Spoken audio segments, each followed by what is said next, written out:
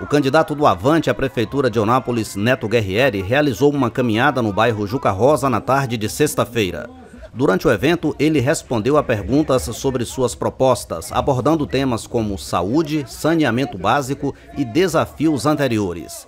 Guerrieri destacou que a prioridade nos primeiros 100 dias de governo, caso seja eleito, será o saneamento básico e a reestruturação da saúde. Saneamento básico. Saneamento básico será o primeiro, primeiro passo que nós vamos dar e depois nós estruturarmos a, a saúde que tanto está precisando. O candidato também voltou a negar qualquer aliança com o grupo político da situação, que declinou de concorrer ao segundo mandato.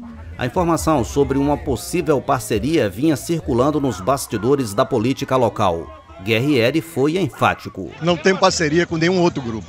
Nós somos um grupo independente que vive, né, que está fazendo a campanha independente e as pessoas que estão vindo dos outros grupos que, que queiram fazer parte são, serão bem-vindos. Mas não tem combinação nenhum com grupo nenhum.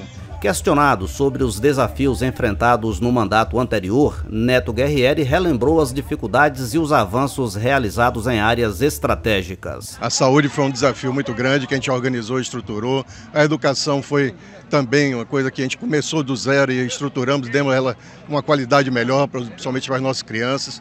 E o desafio maior agora é estruturar a cidade, fazer com que ela possa gerar emprego e organizar ela. Guerrieri também falou sobre o aumento da demanda por atendimento em saúde mental, um tema que se agravou com a pandemia de Covid-19, devido ao isolamento, perdas e outras pressões sociais. A saúde mental hoje é um desafio no nosso município mas temos toda a condição de pegar técnicos importantes que possam fazer com que a gente é, organize esse setor que tanto está precisando. Realmente é muito, tá, cresceu muito a questão da saúde mental do nosso município. E a gente está precisando de gente que gerencie e organize. É isso que nós estamos com vontade. Vamos fazer sim. Ao ser perguntado sobre o que diferencia sua candidatura das demais, Guerrieri destacou a conexão com a cidade. Nós temos a visão de Eunápolis, nós somos filhos dessa terra, temos conhecimento dela geral da cidade e temos a vontade de realizar que fizemos aí em, quatro anos, a gente pode fazer muito mais agora nesse momento, de transformar ela principalmente